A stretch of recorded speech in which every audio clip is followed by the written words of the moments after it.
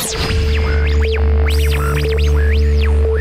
there, I've got the HTC Snap here and I am going to perform a hard reset on this device to clear out some additional or uh, private data that was on here. Um, to do this, what we're going to do is we're going to hold this volume up here and at the same time we're going to hit the power button and hold it down until it starts to power up. We're going to let it off and it's that simple. We held the power up, turned it on. Once the, the colorful screen came up, I let off of there and we have this. The operation will delete all your personal data and reset all the settings to manufacturer default settings.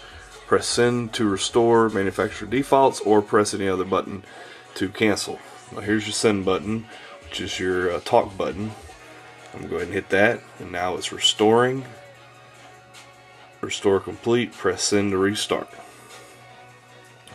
So this is basically starting the device all from scratch and all the data that was on here from the period of time I used it is gone now. So that is a hard reset on the HTC Snap. Like I said, just to recap, simple, simply hold volume up, hit power, keep holding down. Once it starts up, got to got the rainbow screen, let off of the volume button, and follow the on-screen prompts. That's it.